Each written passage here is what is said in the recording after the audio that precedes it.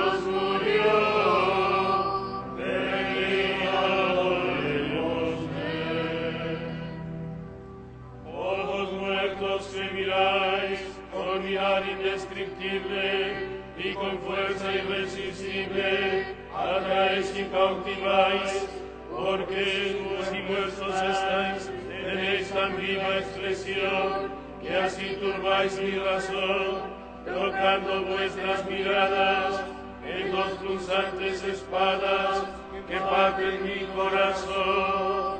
Volvemos ojos piadosos, todo mi ser se conmueve, quien olvidaros se atreve, sin llorar ojos llorosos. per cautivaris salvo me per reprendeis justicieros, inspiraris lora di alma, sois tiernos y sois severos, y las borrascas del alba, emplenáis solo con veros. Amén.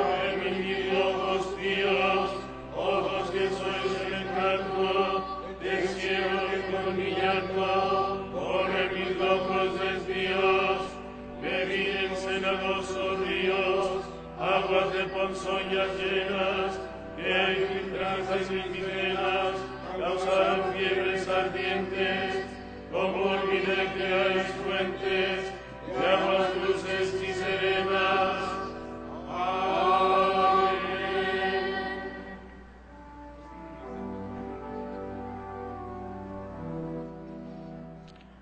El hombre de manos inocentes y puro corazón subirá al monte del Señor. Del Señor.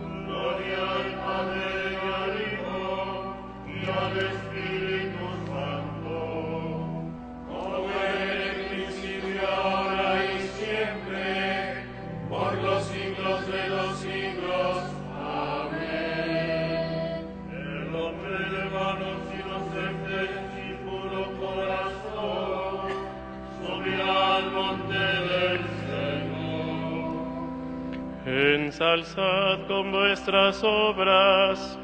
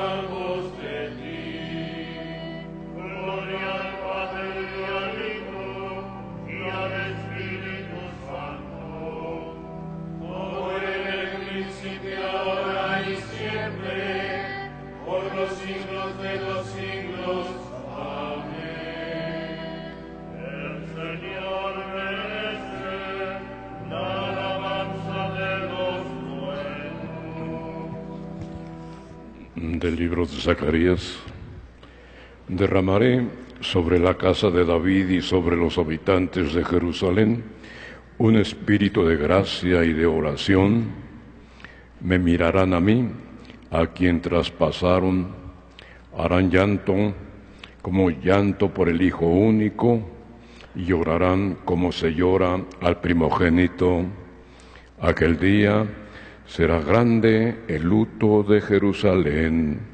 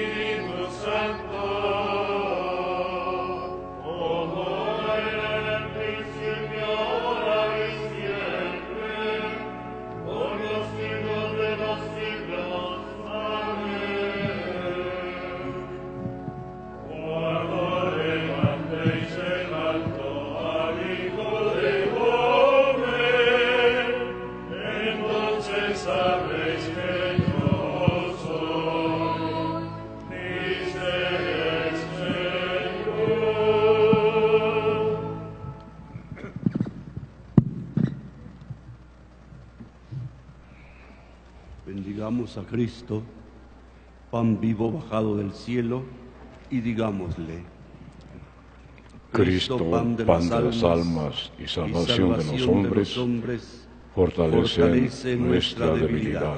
Todos, Cristo, pan, Pan de las almas y salvación de los hombres, hombres, fortalece nuestra, nuestra debilidad.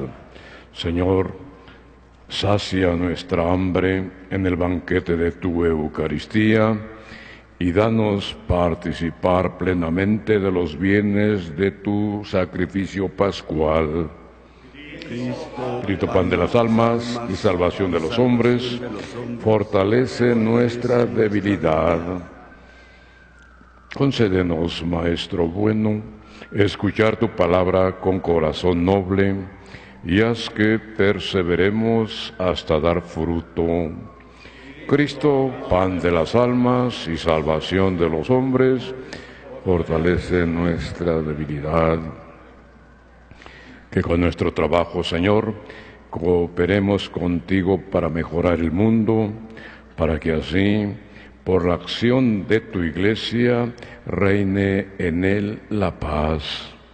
Cristo, pan de las almas y salvación de los hombres, fortalece nuestra debilidad.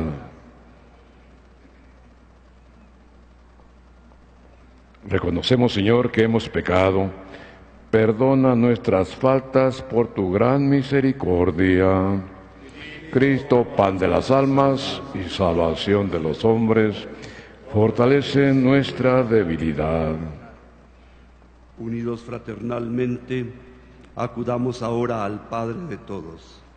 Padre nuestro, que estás en el cielo, santificado sea tu nombre. Venga a nosotros tu reino. Hágase tu voluntad en la tierra como en el cielo. Danos hoy nuestro pan de cada día. Perdona nuestras ofensas, como también nosotros perdonamos a los que nos ofenden. No nos dejes caer en la tentación y líbranos del mal. Concédenos, Señor, ser perseverantes en el fiel cumplimiento de tu voluntad, para que en nuestros días crezca tu pueblo no solo en número, sino también en santidad. Por nuestro Señor Jesucristo, tu Hijo, que vive y reina contigo y en unidad del Espíritu Santo es Dios, por los siglos de los siglos. Que el Señor esté con todos ustedes. La bendición de Dios Todopoderoso, Padre, Hijo y Espíritu Santo, desciende y los acompañe siempre. Amén.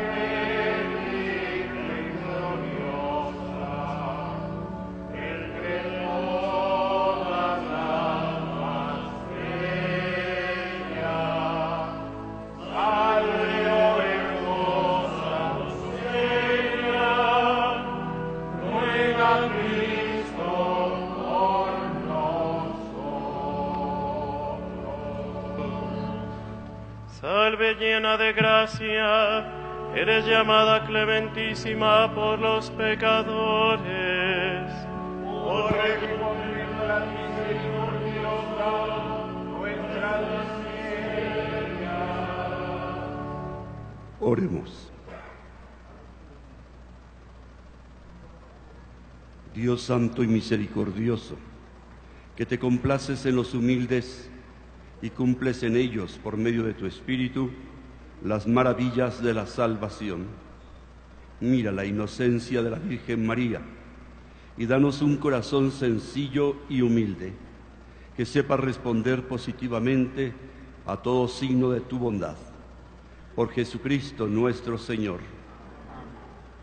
El auxilio divino permanezca siempre con nosotros.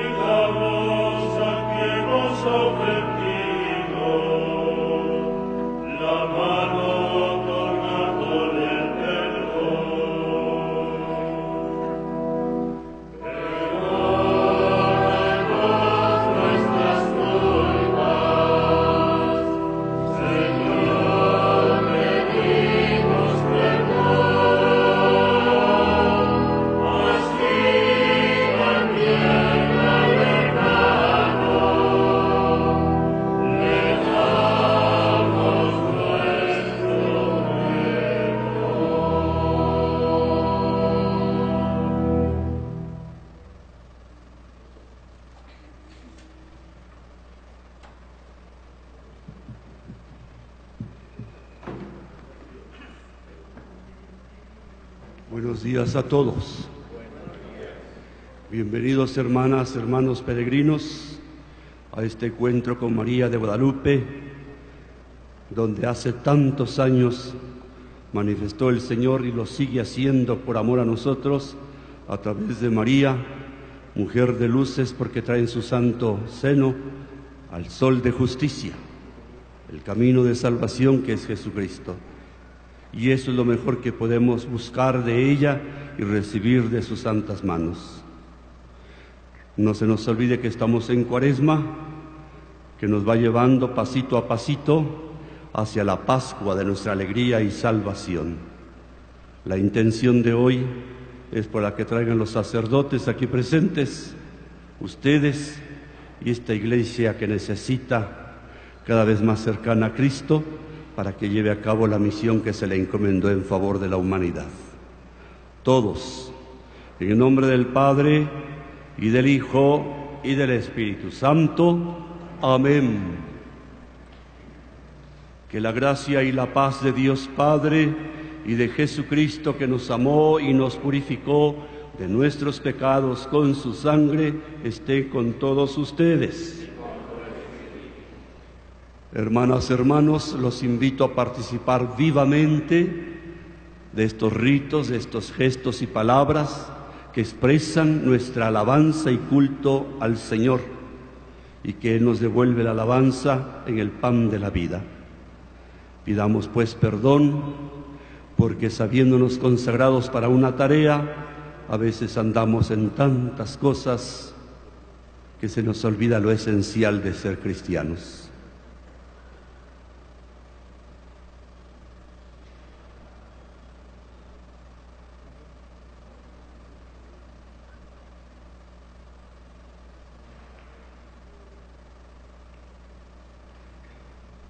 Profundamente arrepentidos y dispuestos a colaborar con la gracia de Dios, digamos, yo confieso ante Dios Todopoderoso y ante ustedes hermanos que he pecado mucho de pensamiento, palabra, obra y omisión. Por mi culpa, por mi culpa, por mi gran culpa.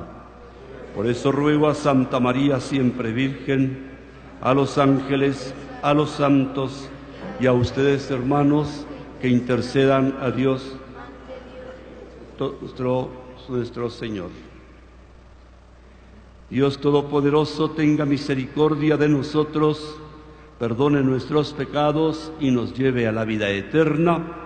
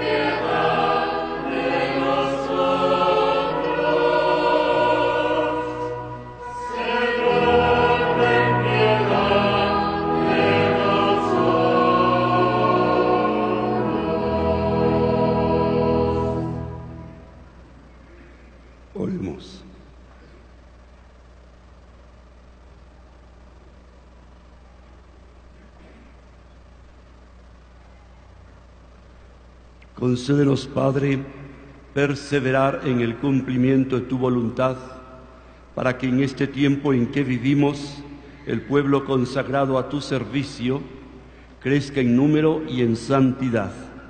Por nuestro Señor Jesucristo, que vive y reina contigo, y en unidad del Espíritu Santo es Dios, por los siglos de los siglos. Tomemos asiento, lo que vamos a escuchar en la palabra de Dios es una de tantas polémicas y la respuesta de Jesús es esencial, no para aquel entonces, sino también y especialmente para hoy, que es nuestra oportunidad de confesar con congruencia la fe en Jesús. Del libro de los números. En aquellos días, los hebreos salieron del monte Or en dirección al Mar Rojo para rodear el territorio de Edom. Pero el en el camino el pueblo se impacientó y murmuró contra Dios y contra Moisés, diciendo, ¿Para qué nos sacaste de Egipto? ¿Para que muriéramos en el desierto? No tenemos pan ni agua y ya estamos hastiados de esta miserable comida. Entonces envió Dios contra el pueblo serpientes venenosas que los mordían y murieron muchos israelitas. El pueblo acudió a Moisés y le dijo, Hemos pecado al murmurar contra el Señor y contra ti. Ruega al Señor para que aparte de nosotros las serpientes. Moisés rogó al Señor por el pueblo y el Señor le respondió, Haz una serpiente como esas y levántala en un palo. El que haya sido mordido por las serpientes y mire la que tú hagas, vivirá. Moisés hizo una serpiente de bronce y la levantó en un palo, y si alguno era mordido y miraba la serpiente de bronce, quedaba curado. Palabra de Dios.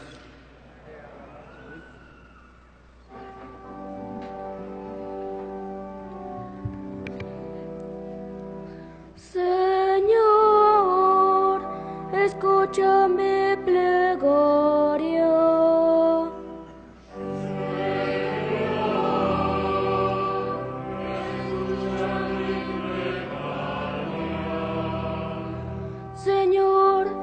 Escucha mi plegaria, que a tu presencia lleguen mis clamores. El día de la desgracia, Señor, no me abandones. Cuando te invoque, escúchame y enseguida respóndeme.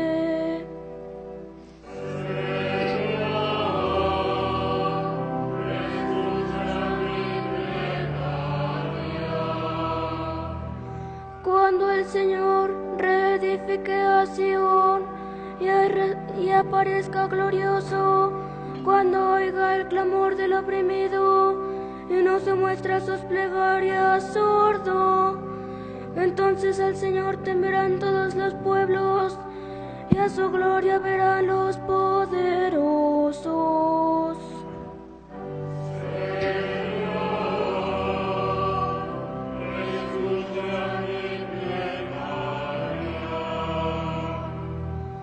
Escribirá para el futuro alabará al Señor el pueblo nuevo, porque el Señor desde su altura santa ha mirado a la tierra desde el cielo para oír los gemidos del cautivo y librar de la muerte al prisionero.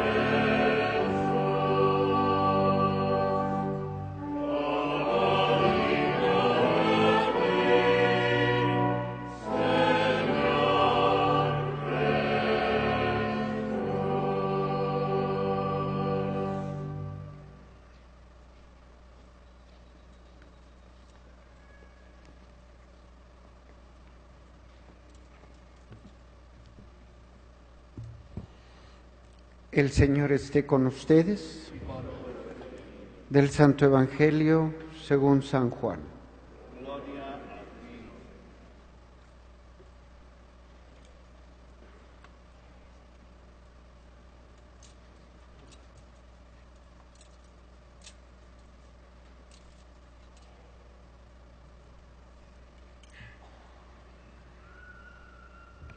En aquel tiempo Jesús dijo a los judíos, Yo me voy y ustedes me buscarán, pero morirán en su pecado. A donde yo voy, ustedes no pueden ir. Dijeron entonces los judíos, estará pensando en suicidarse y por eso nos dice, a donde yo voy ustedes no pueden venir. Pero Jesús añadió, ustedes son de aquí abajo y yo soy de allá arriba. Ustedes son de este mundo, yo no soy de este mundo. Se lo acabo de decir, morirán en sus pecados, porque si no creen que yo soy, morirán en sus pecados. Los judíos le preguntaron, entonces, ¿quién eres tú? Jesús les respondió, precisamente eso que les estoy diciendo. Mucho es lo que tengo que decir de ustedes y mucho que condenar. El que me ha enviado es veraz y lo que yo le he oído decir a él es lo que digo al mundo. Ellos no comprendieron que hablaba del Padre. Jesús prosiguió, cuando hayan levantado al Hijo del Hombre, entonces conocerán que yo soy y que no hago nada por mi cuenta. Lo que el Padre me enseñó, eso digo. El que me envió está conmigo y no me ha dejado solo, porque yo hago siempre lo que a Él le agrada. Después de decir estas palabras, muchos creyeron en Él. Palabra del Señor.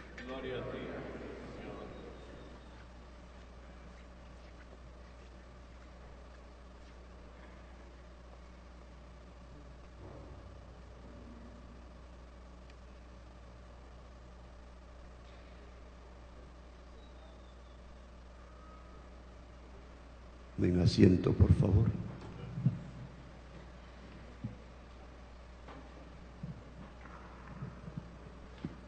Todas las cosas que vivimos, consciente o inconscientemente, siempre tienen un pasado, un presente, un futuro.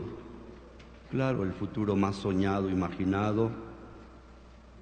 El pasado es un archivo que solamente es una referencia, a veces con lo cual nos entrampamos hacia la nostalgia, hacia lo sin sentido, hacia el rencor, el dolor, pero es importante porque al fin y al cabo, en buena medida, el presente es el resultado del pasado y lo que hagamos con sentido en el presente es lo que en buena medida también construye eso que llamamos futuro, exceptuando la palabra eterna de Dios, que es la fuente, la permanencia y la meta de nuestra existencia, es la garantía del sentido de nuestras vidas. Pero todo lo demás es así de relativo, de relacionado, relativo, relacionado. Y estamos ya muy prontos a celebrar nada menos que una de las grandes fiestas de nuestra fe cristiana y muy con acento católico. Son, es una de las tres grandes fiestas, la encarnación, con la que empieza la salvación de toda la humanidad, la Pascua, que es el culmen de una vida al servicio del prójimo según la voluntad del Padre, y es donde causa desencuentros, encuentros hermosos, pero también conspiraciones de muerte, y Pentecostés porque es fundamental. Para confesar a Jesús necesitamos el don del Espíritu, para que la iglesia no se despegue de su raíz y de su misión para lo cual existe, necesitamos del Espíritu, del don del Espíritu. Así pues, no desconectemos la Pascua. Tiene que ver con un estilo de vida de Jesús, una encarnación que tiene que ver con el amor que Dios nos tiene y por eso envía su santa palabra a través de María para nuestra alegría y salvación. Pero ese pasó haciendo el bien y de un estilo que para muchos fue la alegría, lo que esperaban, y otros fue amenazante, molesto, chirriante, y conspiraron para matarlo. Nunca desconectemos la Pascua de, esa, de ese tiempo muy pequeñito, pero apasionado, fuerte, hasta la cruz, de la evangelización primera por aquel que es el Evangelio vivo, Cristo Jesús. Pues hoy estamos siendo testigos, porque no solamente escuchas, uno que lo habla y el otro que lo escucha, es un acontecer de la palabra de Dios. Una de las polémicas fuertes en el Evangelio según San Juan. También recordemos que este Evangelio hermosísimo se va redactando, no es que se tenga apenas por primera vez noticia, no, eso es desde la primera hora, porque solamente aquellos que vivieron y comieron, sufrieron y gozaron con Cristo son los apóstoles, por eso nuestra fe también se dice fe apostólica, basados en un testimonio de fe de aquellos que compartieron las primeras horas con Jesús. Pero el Evangelio escrito, según San Juan, se fue configurando, redactando hacia finales del primer siglo. Ya San Juan ya muy grande y seguramente muchos discípulos en torno a él fueron poniendo por escrito todo lo que ya la Iglesia a lo largo del primer siglo, después de la muerte y resurrección de Cristo, venían creyendo, celebrando, anunciando, profundizando, testimoniando, incluso con sangre de martirio. Pero ya son nuevas circunstancias, son varias décadas después de este gran invento del Gólgota. Por lo tanto, hay nuevas circunstancias, tanto de los judíos convertidos al cristianismo como de los paganos convertidos al cristianismo y el ambiente del mundo conocido de aquel entonces. Nuevas preguntas, nuevas respuestas, profundización de ese acontecimiento central de Jesucristo muerto y resucitado. Él es la luz que viene de lo alto a iluminar las tinieblas de los hombres.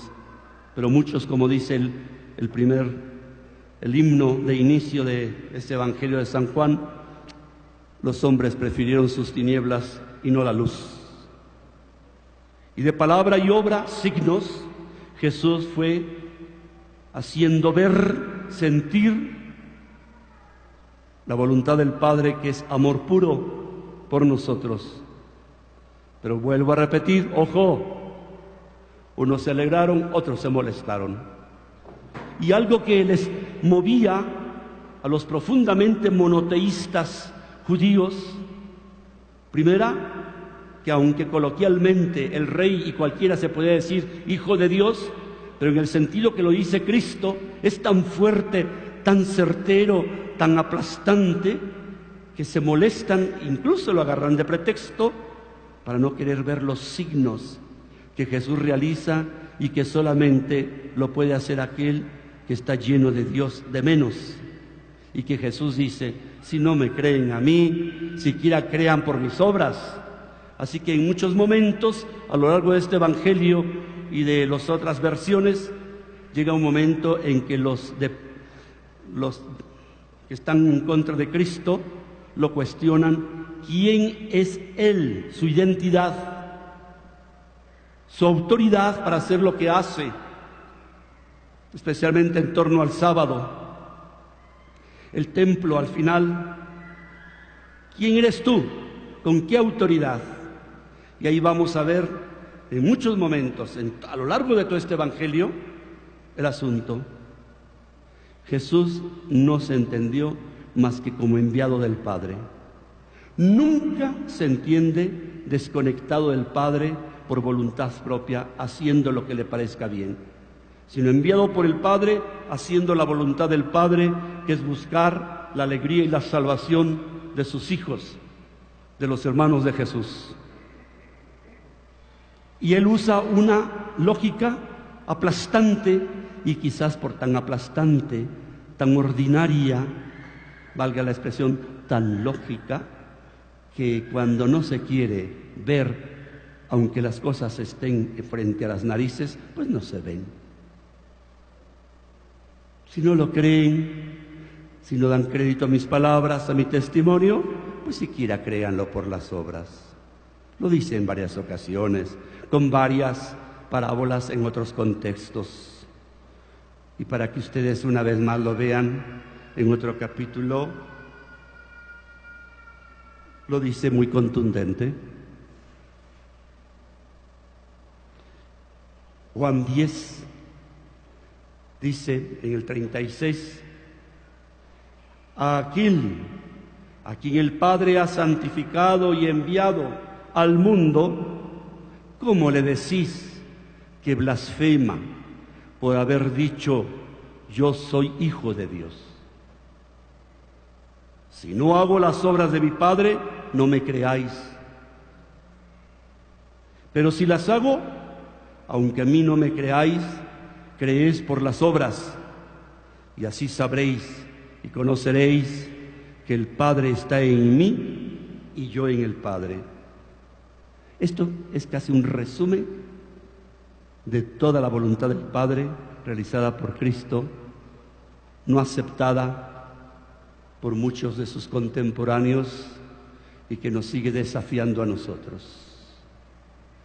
Nuestra fe no es boba, nuestra fe no es fe del carbonero, pero tampoco se reduce a malabares inmeramente intelectuales o académicos o de teología profesional nada más.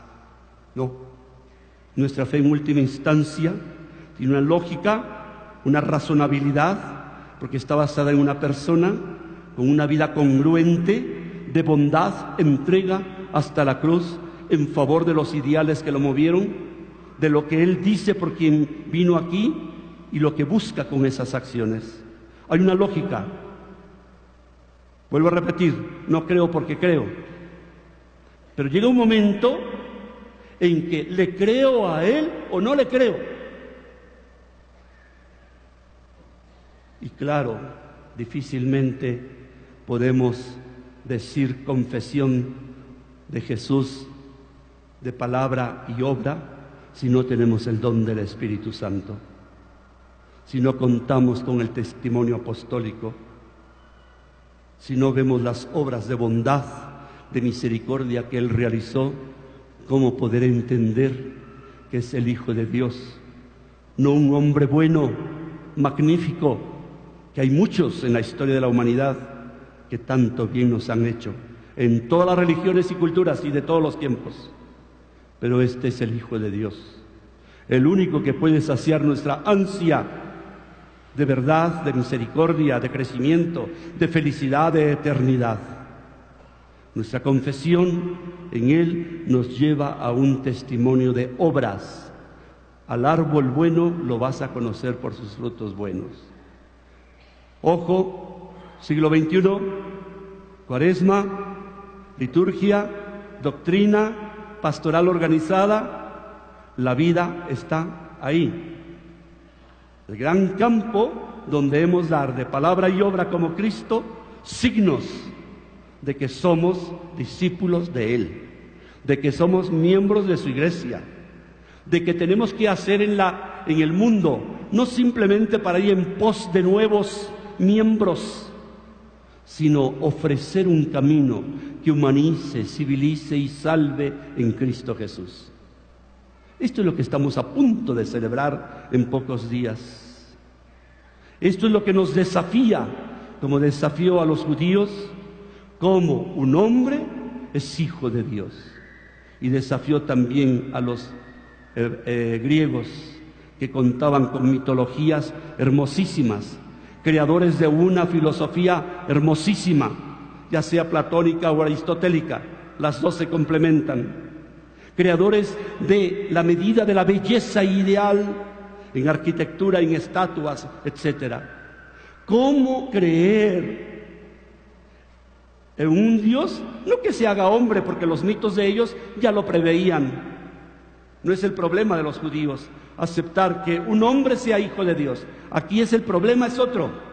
Teniendo dioses olímpicos maravillosos, hermosos, todopoderosos, el desafío es creer en el Hijo de Dios vivo para nuestra salvación, pero a través de un crucificado que de hermoso, simpático, no tiene nada más que con la mala leyenda negra de que es un desarrapado, un maleante, que lo único que merecía era morir colgado como tantos otros maleantes y farsantes. ¡Qué fuerte! Para los griegos de aquel tiempo, creer en Jesucristo, Hijo de Dios vivo, y a través de la cruz ofrecernos otro camino.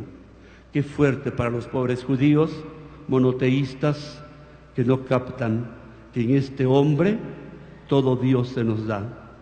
Pero tú y yo no podemos ser simplistas, ni los pastores, ni los consagrados, ni los laicos, que por herencia, por rutina incluso, hemos recibido la fe y creemos que es muy fácil.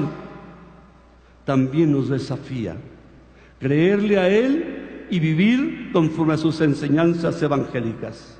Y para poderlo vivir no hay otra que reconocerlo y comerlo, alimentarnos de la Eucaristía, del Evangelio y en comunidad creyente hacer una propuesta misericordiosa, adecuada, creíble al mundo de hoy.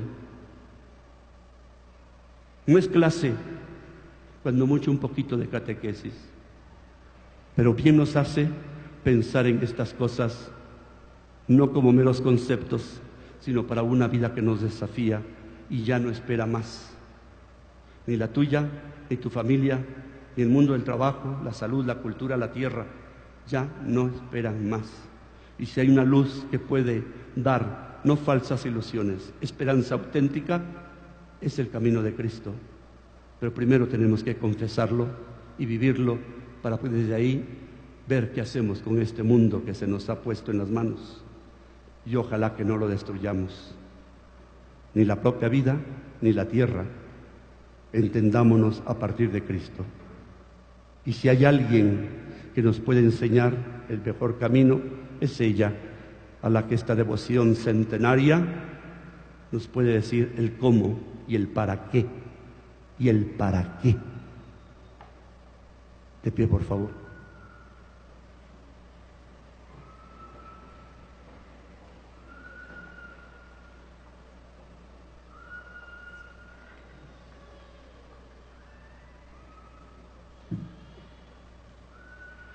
Por eso le pedimos al buen Dios que nos dé su espíritu para poder confesar a Jesucristo como el Señor y la fuerza para ser congruentes, cual sea nuestra vocación en la iglesia, ser capaces de dar testimonio del que murió, nos amó y se entregó por nosotros. Todos digamos, te rogamos, Señor. Te rogamos, Señor, para que Dios Padre, que nos ha enviado a Jesucristo como pastor y redentor del mundo, guarde, proteja e ilumine a la iglesia y la fortalezca en la fe y en el amor. Oremos. Te rogamos, Señor. Para que el Dios de Abraham, de Isaac y de Jacob haga brillar su rostro sobre el pueblo de Israel y le manifieste a Jesús como el Mesías de su esperanza. Oremos. Te rogamos, Señor para que los pueblos del Islam encuentren en la fe y en la caridad de los cristianos una luz que los encamine al único Señor que perdona y salva. Oremos. Te rogamos, Señor. Para que Dios Todopoderoso y Eterno, que quiere que todos los hombres se salven y lleguen al conocimiento de la verdad, descubra su rostro a los ateos, libre a los paganos de toda idolatría, superstición o engaño y les revele la luz de su palabra. Oremos. Te rogamos, Señor. Para que el Padre de misericordia y Dios de todo consuelo conceda su auxilio a todos los que lo invocan desde el fondo del corazón y a todos los que dudan, sufren o luchan. Oremos. Te rogamos, Señor. Mira, Señor, a tu familia aquí reunida en tu presencia y protégela con amor constante, que los que se esfuerzan por buscar tu rostro vean atendidas sus oraciones y experimenten la ayuda de tu protección. Por Jesucristo nuestro Señor. Tomemos asiento, por favor.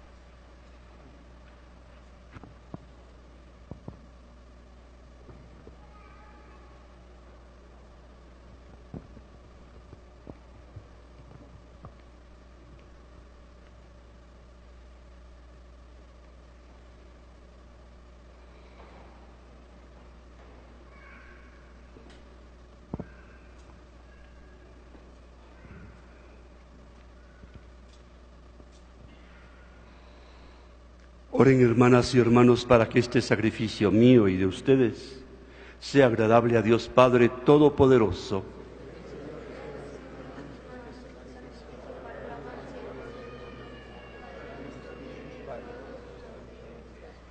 Te ofrecemos, Señor, este sacrificio de reconciliación para que perdones benignamente nuestros pecados y dirijas tú mismo nuestro vacilante corazón por Jesucristo nuestro Señor. Que el Señor Dios esté con todos ustedes. Levantemos el corazón. Demos gracias al Señor nuestro Dios.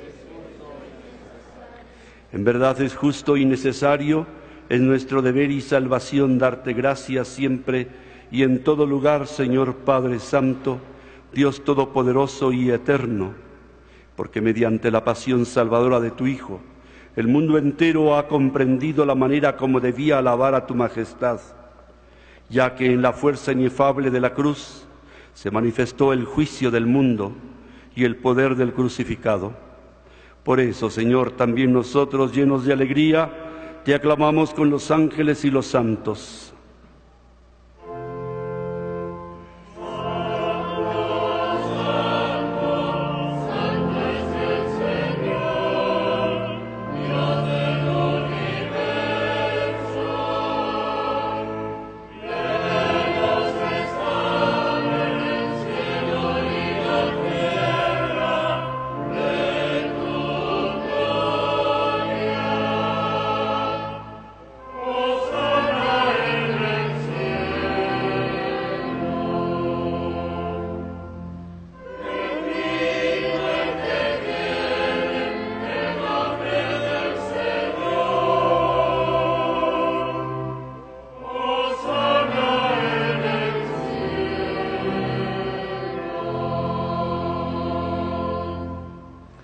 Santo eres en verdad, Señor, fuente de toda santidad.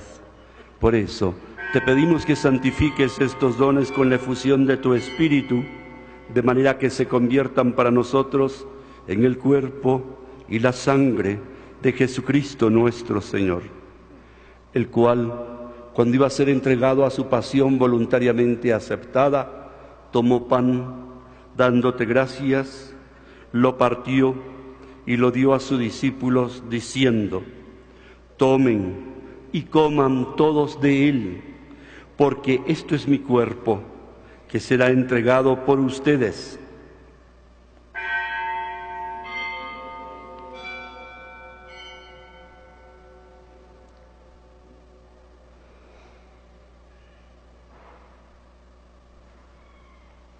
Del mismo modo, acabada la cena, tomó el cáliz y dándote gracias de nuevo, lo pasó a sus discípulos diciendo, tomen y beban todos de él, porque este es el cáliz de mi sangre, sangre de la alianza nueva y eterna, que será derramada por ustedes y por muchos para el perdón de los pecados.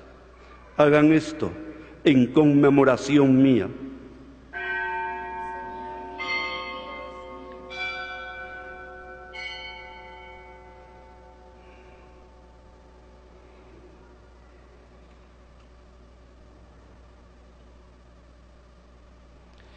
Este es el sacramento de nuestra fe. Anunciamos tu muerte, proclamamos tu resurrección. Ven, Señor Jesús.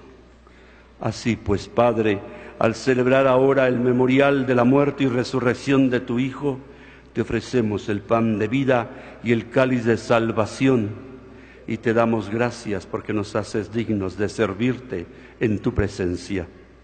Te pedimos humildemente que el Espíritu Santo congregue en la unidad a cuantos participamos del cuerpo y la sangre de Cristo. Acuérdate, Señor, de tu iglesia extendida por toda la tierra. Y con el Papa Francisco, con nuestro obispo Norberto, sus obispos auxiliares y vicarios episcopales, y con todos los pastores que cuidan de tu pueblo llévala a su perfección por la caridad. Acuerda también de nuestros hermanos que se durmieron en la esperanza de la resurrección y de todos los que han muerto en tu misericordia.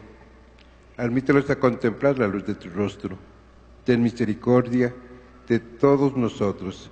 Y así con María la Virgen, Madre de Dios, su esposo San José, los apóstoles y los santos, San Juan Diego, y cuantos vivieron tu amistad a través de los tiempos, merezcamos por ti, Jesucristo, compartir la vida eterna y cantar tus alabanzas. Por Cristo, con Él y en Él, a ti Dios Padre Omnipotente, en la unidad del Espíritu Santo, todo honor y toda gloria por los siglos de los siglos. Vamos a hablarle a nuestro Padre Dios como Jesús nos enseñó, pero con ganas de colaborar en esta gran gesta de salvación. No basta creer, sino creer eso, celebrarlo, educarlo y testimoniarlo. Así hagámoslo pues al buen Dios. Padre nuestro, que estás en el cielo, santificado sea tu nombre. Venga a nosotros tu reino. Hágase tu voluntad en la tierra como en el cielo. Danos hoy nuestro pan de cada día.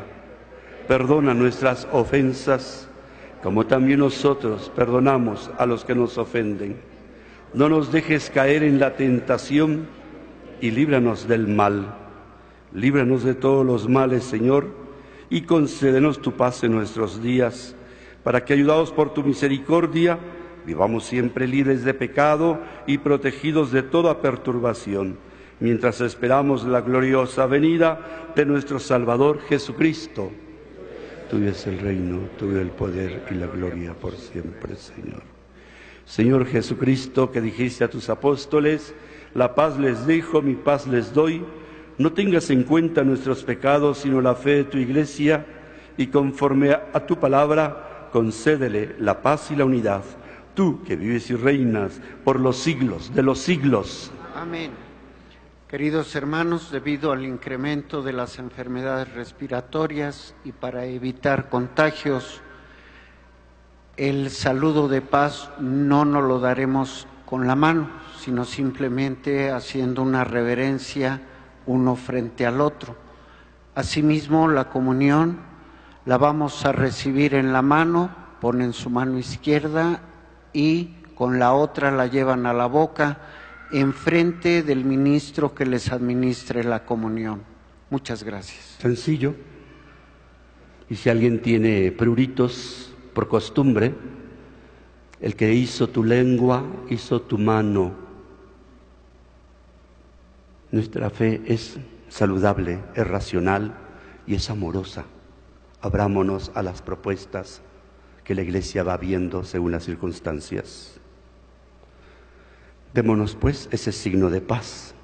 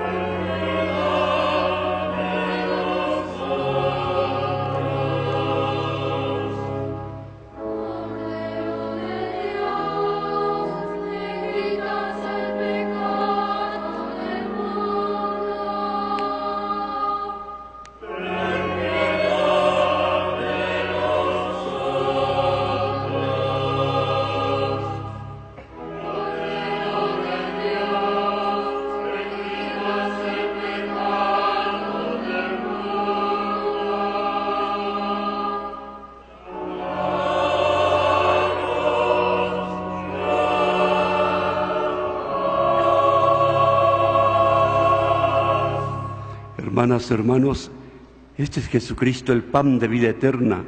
Él es el Cordero de Dios que quita el pecado del mundo. Dichosos nosotros, invitados a recibirlo. Señor, yo no soy digno de que entres en mi casa, pero una palabra tuya bastará para sanarme. Que el cuerpo y la sangre de Jesucristo nos guarden para la vida eterna. Amén.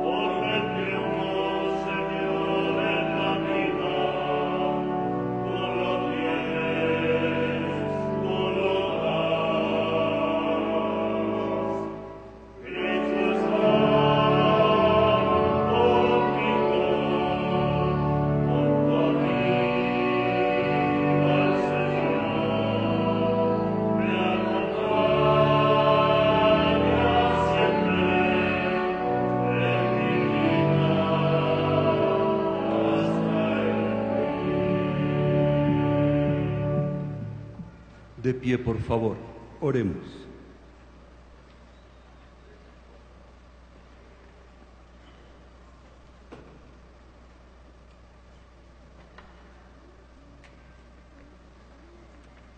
Concédenos, Dios Todopoderoso, que participando asiduamente en tus divinos misterios, merezcamos alcanzar los dones del cielo por Jesucristo nuestro Señor.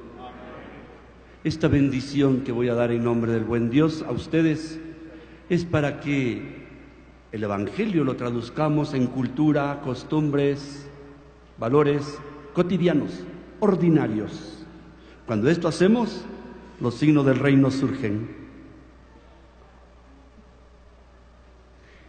También bendigo a sus chiquitines para que, además de la bendición y porque tiene la bendición de María, cuenten con un hogar, especialmente sus padres que lo trajeron al mundo, los eduquen con su presencia, con el ejemplo y los valores.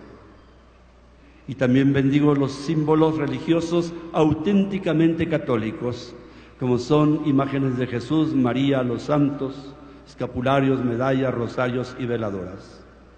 Que el buen Señor esté con todos ustedes. La bendición de Dios Todopoderoso, rico en compasión, Padre, Hijo y Espíritu Santo, desciende y los acompañe siempre. La alegría del Señor sea nuestra fortaleza. Pueden ir en paz. Demos gracias a Dios.